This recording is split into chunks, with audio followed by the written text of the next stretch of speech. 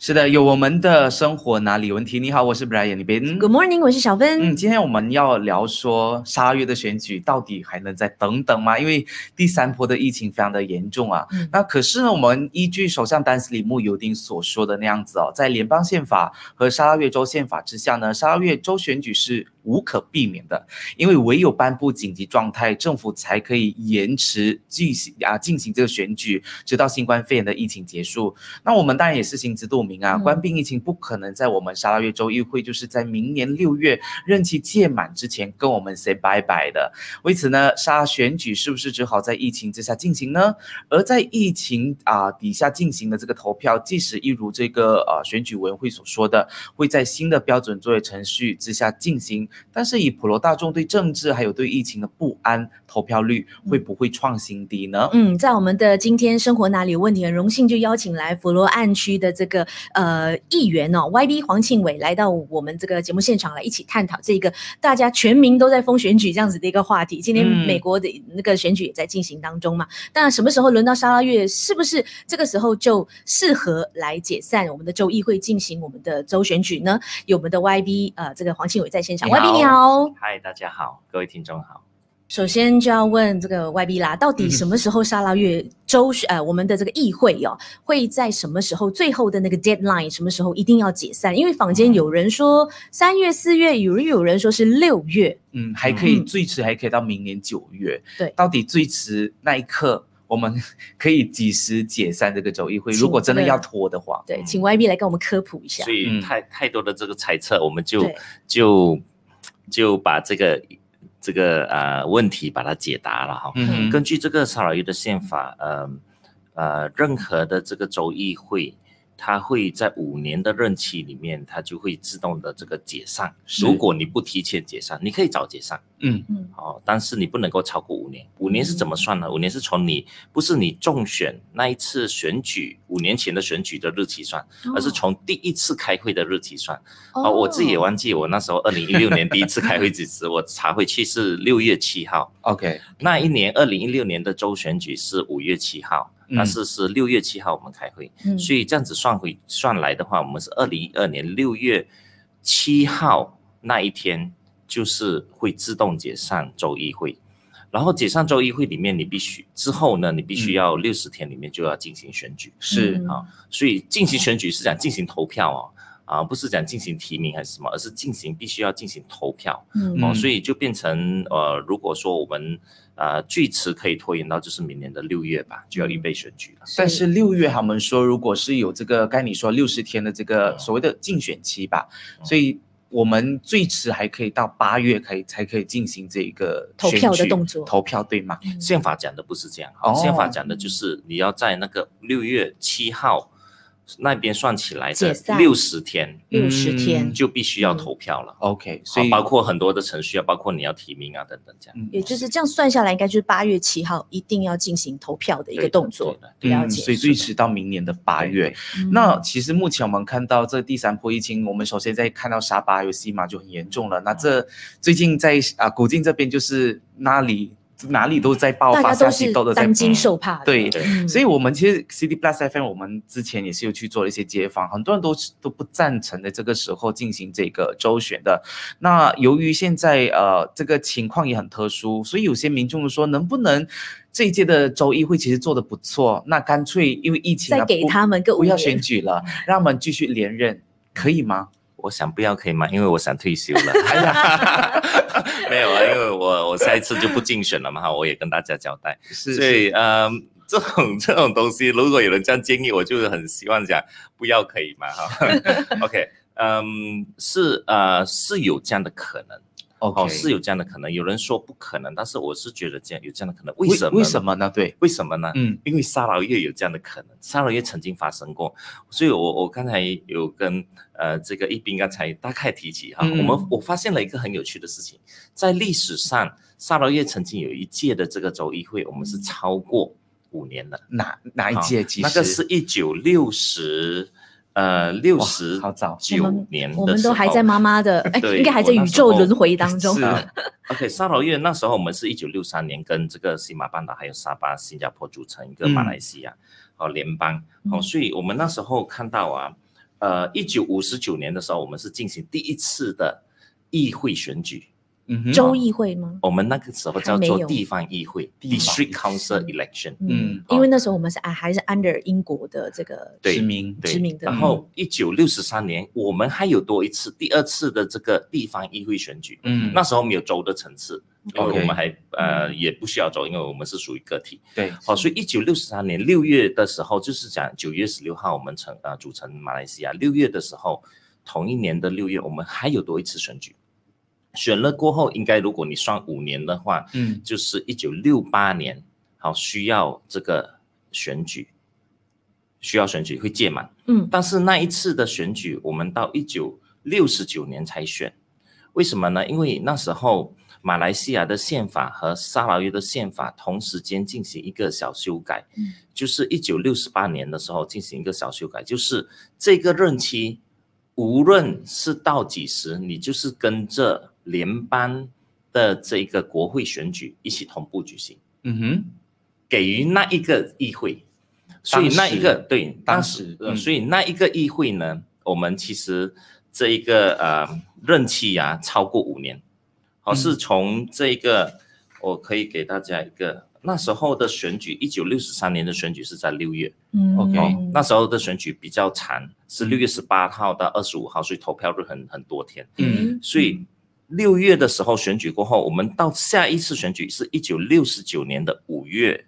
十号选举，跟这个啊、呃全国的这个呃国会选举，还有其他州属的州议会选举同同步。步举行，嗯，所以就是讲那个任期接近了六年。是就啊、超过五年。对对对，所以，但是那个是有宪法的修改，马来西亚宪法修改，嗯。同时间是这一个萨拉越宪法修改。嗯。萨拉越宪法修改在第二十一条文三 A，好，所以多加了一个，就是那一个额外的是。可以任期延长。这样嗯。听下来，我们沙捞越还蛮特殊的哈，沙拉越跟马来西亚其他州属来只有说，沙拉越特别，只有沙捞越可以啊。再延续多一年。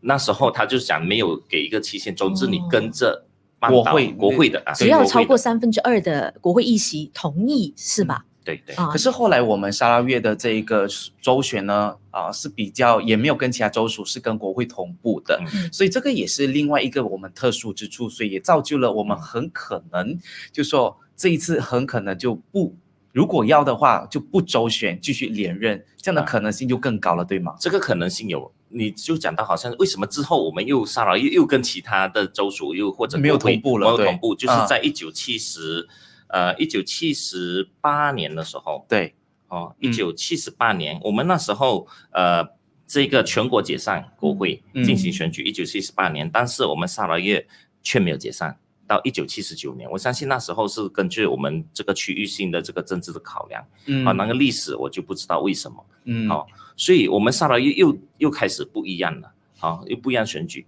所以如果讲，呃，这个萨拉越政府跟这个联邦政府有意要再重新这个重复这个历史，就是一九六十八年的那个历史的话，啊、就想同步举行的话，他们可以做一个修改，就是想在沙劳越的议会，你必须要三分之二超过通过，嗯。修改沙劳越州的宪法和国会宪法，嗯。三分之二通过嗯才能够。但是如果是真的啊、连任这件事情好像是真的有眉目，或者是真的有可能进行的话，你觉得我们的执政党会想要吗？我知道你自己不想要啦，嗯。但是其他的这些啊、我们的议员呐、州议员，还有我们的执政党，你觉得这对他们是有利的吗？肯定啊，如果你给一个人呢、继续做政府，他在免费和我们所谓的免费嗯 i n v e r c o m 啊，就是呃嗯。你不需要你不需要再选举，你就重新再做政府啊，你就继续连，当然他们很高兴啊。嗯那是第一个可能性修宪，嗯第二个可能性就是首相所建议的这个紧急状态。OK，嗯，好，但是现在紧急状态又被元首呃对驳掉了嘛，了所以那个可能性就没在了。嗯，OK，好。那首相说，我有颁布紧急状态才能够展延进行这个选举，就是无限期的可能展延啦。嗯那么所谓的紧急状态又是怎么样的一个状态呢？因为我们的元首他拒绝了，那这个如果真的是进入紧急状态的话，那我们整个局面是怎么样的？听起来像很紧张这样子啦，大阵仗。我们等一下回来再聊哦。欢迎回来，我们今天的生活哪里有问题？Hello，你好，我是小芬。Hello，你好，我是 Brian 那边。在我们节目现场的有这个佛罗岸州呃佛罗岸区的州议员 YB 黄庆伟，在我们嗯现场来跟我们聊聊哦，沙拉越议会呃到底是不是应该要在今年解散，还是我们可以拖到明年的六月？因为刚刚这个 YB 已经跟我们解释了很清楚了嘛，就是我们的这个宪法当中呢、嗯是说最后是可以呃六月解散了之后一定要解散，然后之后还可以有两个月的时间来进行这个呃竞选的动作啊哦。嗯那接下来我们来呃看看这个首相呢，他就说，只有颁布紧急状态，呃，全国颁布紧急状态的时候呢，才能够展延我们的这个地方的这个州选举。那么所谓的紧急状态又是怎么样的一个状况呢？嗯，听起来很紧张这样子。对，嗯紧急状态其其实呃，对，的确是很紧张。嗯如果全国性的一个紧急状态，呃，而不是区域性的，就是讲它会影响整个国家，整个国家那时候啊，就任何的法律就有可能是被被这个呃可以呃被悬悬挂起来啊，什么意思？就是讲可能这个所有的这个任何的这个嗯、这个任何的运作，嗯好，任何的运作或者嗯呃所所有的这个法律都可以被掌握在政府的手上。哦，政府政府 executive OK 啊啊，嗯宪法是讲 executive，、嗯但是颁布颁布紧急状态是元首的权利，那的确是。嗯所以这个谁是当今政府，他就有权利，非常大的权利，他甚至可以直接，呃，直接这个呃有呃有这个草拟任何的这个法律，当然是要是要经过这个元首，他甚至还有这个权利，联邦政府有这个权利去插手州政府的事务。哦，所以为什么呃这个首相会说紧急状态就能够让这个沙拉越州周选嗯啊、不那个？因为为什么？就是好像我们刚才说的，他可以直接修宪。嗯嗯嗯嗯，好，他可以，他可以不愿不是讲直接实现，他可以直接拟定另外一个法律，就是说，任何现在所有的这个呃选举都可以延后，无限期的延后。不管你的宪法有怎样，就是对紧急状态最重要。对，紧急状态到后来，他给他最大的权利，我的解读是，宪法给他最大的权利就是你可以，你可以 bypass 宪法，你可以不尊重宪法。嗯嗯那个 OK，我我们一个国家最重要的三个东西就是土地要有人民，嗯要有宪法。没错嗯啊，嗯所以你当你这个宪法给予你权利去违抗我的时候啊，那个是基本上是最大的权利。OK，嗯那我我其实也想了解说，当我们国家颁布这个所谓的紧急状态的时候，是哪一些情况？啊、我们最近其实近年来都有一些的紧急状态，但是不是全国性的，是是。区域性的。一定刚才有提到，就是讲到这个烟霾的情况，嗯是在二零一三年六月呃二十三号，那时候哦是一个、是一个区域性的莫尔和勒丹，哈，就是佛罗佛州的这这个地方，当时很严重。嗯很严重。嗯。好，然后还有之前还有一个二零零五年那时候这个是 Portland 好 Portland 的一个、呃这个紧急状态，嗯，生港口。对，嗯巴生港口，因为是这个啊、也是掩埋的问题，嗯。哦，所以这样的情况下，区域性的情况下，就是讲政府是直接插手任何的事务，嗯。哦，基本上就没有所谓的这个层次的这个管理层，包括州政府，嗯，嗯甚至可以不能够，你不能够插手，嗯。哦。但是马来西亚有没有发生过在颁布了紧急状态之后，然后呃，首相就说哦，某一周就要立刻就解散，然后去进行周旋，有这样子的例子吗？有有可能，因为权力是属于这个呃联邦掌握在联邦政府的手上了。对那对于人民来说，就这个利益就被剥夺的这样的一个概念哈。的确是，嗯的确是。那最近其实首相也是有说，我有呃这个就针对目前的这个疫情来说啦，宪法的条文和精神其实可以通过人为处理的。人为对对对，那如果真的是要去到人为处理的地步的话，基本上其实又可以怎么去处理呢？因为宪法现在是高高在上嘛，那人为处理是可以怎么处你你理？说的没有错，宪法其实基本上是管制驾驭一切，对呀对驾驭一切，甚至嗯是最高元首也必须活在或者行事在宪法底下，嗯，更何况是这个政府呢嗯？但是如果你所谓的人为处理，我们听一下都会毛骨悚然。是 所以人为可以处理的话，那就是不是高高在上哦。其实另外一个字眼就是随心所欲，对有点像黑箱作业这样的感觉。任何情况你都可以哦。嗯所以因为你已经是紧急状态的时候啊，嗯你宪法可以不尊重，你甚至可以一个法律是违抗宪法的，嗯但是那个法律是你拟定的，那法律甚至也也不需要经过这个国会。OK，、哦所以其实首相这么说的话，他可能是因为以在这个紧急状态前提下，所以才说了这这句话吧。嗯对呀、所以我我们说这个紧急状态其实就是随心所欲了，就哦他要做什么都。那即便是民众大部分就是一面倒都是反现在反对现在要进行我们的这个周选的哈，但是有人也提出新加坡的例子哦，嗯新加坡在疫情很严峻的时候。还是举举行了他们的大选，而且呢，当时他们的疫情也受到了控制。当然，你可以说是新加坡，因为他们国家很小嘛，然后人口也比较嗯呃没有像我们这边那么的复杂。那基于这样子的例子，你觉得我们沙拉越应该搏手一试吗？放手一搏吗？OK，问我自己非常个人的这个意见的话 OK，我相信我这个讲出去，一定很多网民要要 要讨伐我。好 OK OK，但是我自己个人的意见，嗯我觉得沙巴的这个选举导致疫情爆发的这个呃关键例子呢，嗯，关键不在于选举，嗯。关键在于人。人为，嗯。对嗯。所以选举与选举不会导致一个这个疫情爆发，但是人怎样去在选举里面，你怎样去竞选，你怎样去呃有没有遵守这个严格的 SOP 或者嗯甚至可以有选举 SOP。嗯。你看我们选啊、沙巴选举的时候是没有选举 SOP，哦，但是我们有理发店 SOP。我们有学校娱乐中 SOP，娱乐 SOP 就是没有选举 SOP，、这个是非常糟糕，所以导致让人觉得很吊诡耶。对我，我甚至看了一个 article，就是讲那时候其实竞选期间的时候，嗯。沙巴就有一些的一种一种就爆出来了嗯。疫情，但是是没有像现在那么严重啦。嗯嗯。还没有到那么严重，但是它在攀爬，对，它在攀升。嗯。但是这一个疫情爆发的时候，人或者政治人物注意的是选票，对，而忘记了或者不在意啊这个疫情，所以这是一个一个人性的一个弱点，是我是觉得非常的悲哀。嗯。所以反观你说刚才新加坡，甚至我要举一个例子，就是这纽西兰。个纽西兰。嗯，嗯。这两个选举。在疫情的这个情况下去进行选举，疫情啊选举过后没有更严重的爆发，嗯。这个疫情说说明什么？说明选举不选举，嗯，不是重点，而是人为的这个问题。嗯然后，难道我想要问一句，就是讲，难道现在疫情如果好的话，我们是零零零零就可以进行选举吗？就肯定不会爆发吗？大家就可以掉以轻心吗？就可以掉以轻心吗？就可以群聚吗？是吧？所以我们不嗯能够说疫情严重，我们不应该选举；疫情好就可以选举吗？嗯，如果人还是同一个款、同一个思维，同一个思维，嗯嗯我们多好的疫情的情况下嗯都会有可能爆发的。嗯所以我是觉得，呃，与其让这个我们等疫情好，所谓我们等待疫情好，有年没月，我们说我们不知道时什什么时候时辰是最好。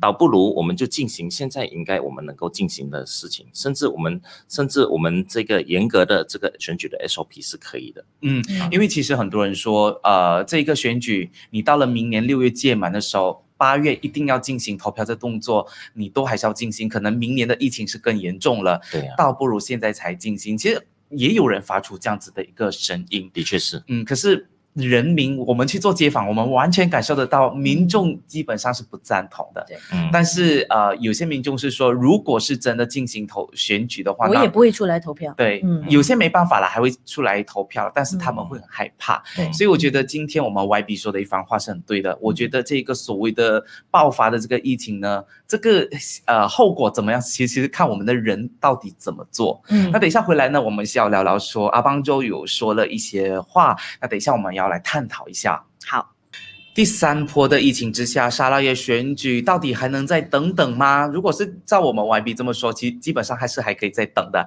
现在，我们节目中呢有这个佛罗岸区的州议员 YB 黄庆伟来做客。YB 你好外边哎你好嗯嗯，在上个礼拜呢，我们的首长阿邦州啊，其实他昨天也是这么说啦。他说现在呢，人民的性命是排第一的。对对那现在因为疫情这样子哦，数字又不停的攀升，所以呢，他他是觉得说没有必要现在一定要选举，然后还是要把他把球踢回去给卫生部啦，就是说还是要听取这个卫生部啊、的这个意见啦，意见来决定是不是要在近期之内周选，还是可以再延一延。嗯那这一个决定应该是符合宪法，在一个非常 politically correct 的一句话吧。是是是这的确是一个啊最最怎么讲？我们在政治上最好的一句话了，最正确的一句话。嗯嗯啊，大家都能够接受。当然啊，我们把这个呃，听取这个卫生部的意见，我觉得是必须要的，因为疫情啊啊、疫情它不一论认你是首长还是不首长嘛，嗯。不一论你现在是选举，他才不不出来，不会。对对，哦，所以呃，卫生部的这个意见是呃非常的重要，但是我觉得同时间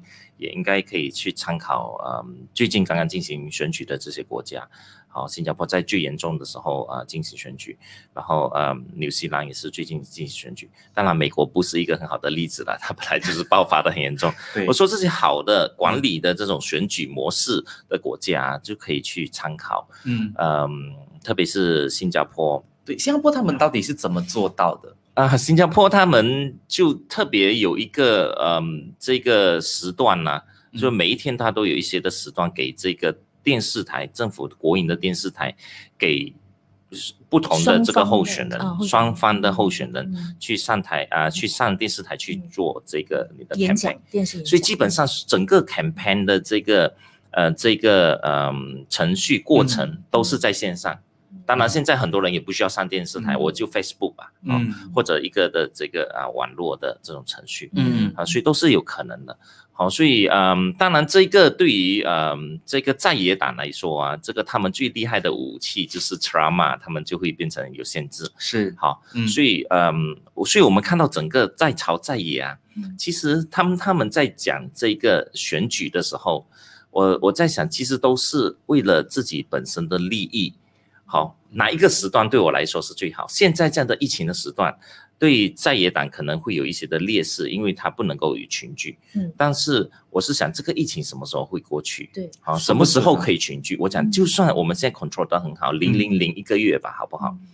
也不可以群聚。嗯哦，所以以这样的情况下，我觉得在野党就应该要呃转换其他的模式。嗯哦，你不能够用传统的模式来去嗯竞选。是嗯嗯对嗯因为我觉得最重要的就是说，那两个月的竞选期，大家都有这个机会。那如果换成你说的像新加坡这样的一个做法，大家都有一个公平的机会，无论是政府的电视台都好，私营的电视台都好，可以有一个这样的一个 slot 给他们发表他们的一个看法。嗯我倒是觉得，诶，我是很恰当的哦，对对对不一样了。是，嗯而且也让人民呢，也，不用群聚，不用有这样子的一个冒险。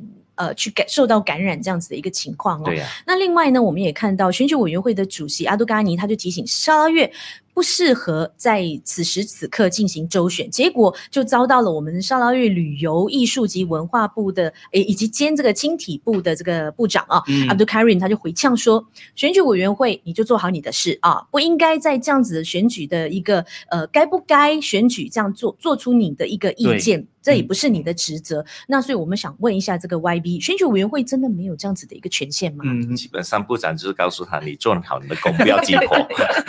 OK，其实原本啊，呃原本选举委员会是一个这个 executive body，就是它是执行的一个机构。嗯执行机构就是人家告诉你现在选举，你就是乖乖去做选举该做的东西，是预备所有。嗯嗯对你基本上说真的，他没有权利去讲 detect 什么时候选举。哦所以他真的是没有这样的一个资格。对呀、是由、嗯由这个呃这个呃我们州方面的话就由州元首，当然州元首是这个听取这个首席部长的 advice 嗯劝告，所以这怎样都不会到一个公务员的这个身上，所以当然部长他呃用回呛的方式是有他的一定的理由，就是讲嗯。基本告诉他就是 mind your own business 嗯。啊，照顾好你自己的工作，不要越权。嗯，哪怕这个选举委员会它可能是一个好心或者是一个提醒，可是职责所在，甚至是他们的这个身份的这个职责，他们真的是比较不太适宜发表这样的一个意见，因为嗯这个选举委员会它必须要公正或者是很廉政的，嗯。所以它可能是基于这样的一个原因，也是因为在这个政府的体制里面啊，嗯。基本上越权是一个很严重的事情。是。所以你身为公务员，你就不应该是越权，所以他会有这样子的冲突在那边。嗯。那我也想请教一下 YB 哦，如果说我们的这个周选如果真的是延到了明年六月解散，那八月呃进行嘛，那你觉得多了这样子半年的时间，差不多半年，嗯半差不多半年多，几乎嗯半年多的时间，嗯你觉得这样子拉长战线的话，对于执政党比较好呢，还是对于在野党方面有更多的时间来进行更多的 campaign？、嗯以我这样分析的话，我觉得现在呃在野党会认为这是他们最好的这个时间。为什么呢？哦，为什么？因为你看啊，全国性都非常的这个呃严重，这个疫情包括半岛和沙巴，对，嗯所以这个沙劳越其实是被关起来的。哦一个一个地方，嗯哦，所以基本上在这样的情况下，在野党就可以嗯进行他们的这个选举。嗯。哦，而且更有效的进行选举，就是其他人没有人能够插手沙拉越的，嗯就所谓的外援，对，嗯。所谓的外援，其实这对这个呃执政党来说是非常占优势的，嗯。特别是在疫情里面，你看这个疫情里面，呃，政府都倾向于嗯。迅迅速的去进行选举，嗯。好、因为在这个疫情里面，政府其实就可以呃。其实是扮演一个保姆的角色，就是我要照顾全人民民的福利，嗯特别在疫情这个期间。嗯但是在野党就没有这样的方面的资源，所以基本上他就没有办法。所以在困难里面，谁给你一杯凉水，你会记得他的恩。所以我说，在这个在朝方面呢，嗯，执政党方面呢，这是一个好时机，对于他们来进进行选举，这是我的分析。嗯当然，在野党就觉得你的好时机就是我的坏时机，所以我就大家都用疫情来去这个啊、去作为他们筹码。啊筹码，对。说几时选举，其实真正背后是哪一个是对大家的好事？所以我们就听到很多就是啊、在野党的那一些啊、政党呢，都纷纷说，这时候我们应该听取民意，应该不可以在这时候进行这个周旋。嗯，以这样子来抨击我们的这些执政党，对对，然后挑起起那个民意，我我觉得这是很自然的，是是这是他们这个政治的这个一种策略手段也是策略。可是如果是呃来自四面八方的一个声音的话，那大家都是觉得，甚至我是觉得以民为本吧。大家以民为本，民众的声音就是说是，这时候不适宜进行这个周旋。所以嗯以目前你这样看的话，以我们沙拉越执政党的智慧，你嗯觉得会听取民意吗？嗯，我觉得这整这个印象分，好、大家都要赚取这个印象分，所以在野党在过去很多个政党都纷纷讲哦，挑起这个情绪，嗯所以变成现在的这个执政党有点卡在两难之间。我要竞选，但是我我我又不会那个，呃，我又不能够呃竞选，所以他整个的情况就变成很诡异。到底我竞选，我会不会单单因为这一个，我这时候竞选，我过去做的全部东西大家都看不见啊，嗯。毁于一旦，你就单单讲，你现在叫我选举，我就是烦你，我就生气，你投个生气票、嗯。情绪票，嗯。呃，这个我就很难说会不会。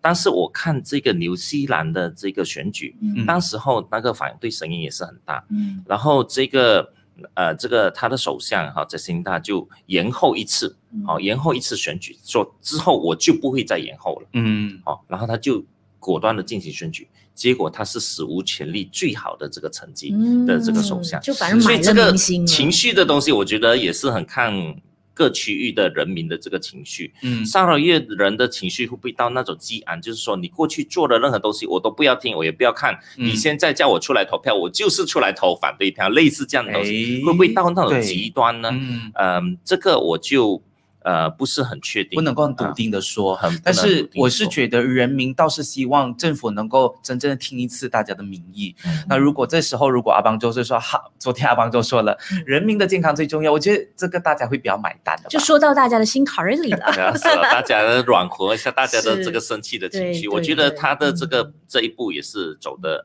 走的非常对对的。但是我们的州政府当然还没有做出一个最后的一个决定或者公布啦。嗯不过最后以你 YB 你个人的这个看法的话，如果这时候真的进行选举的话，那很大可能出现的这个局面会是怎么样的一个局面呢？嗯，你看好嗯，如我我还是觉得，我还是觉得，呃，这个呃，在疫情里面的这个选举，对于这个执政党当然会占优势，那这是是情况上的优势。嗯第二大的呃，第二的这个情况上的优势就是，基本上现在如果讲两两派在呃对峙的话，有人每一派都有他自己的强点和弱点。对呀、哦，OK 嗯然后，嗯，在野党这次的弱点就是在于他已经不是他以前的这个在野党，因为他曾经做过联邦政府。哎对。啊，嗯。所以这一个东西就变成大家都是曾经做过政府来作为比较的这个前提下，嗯。所以我会觉得，嗯、在过去的你的这个表现，你就拿出来作为成绩单的时候，我会觉得在野党会有一些的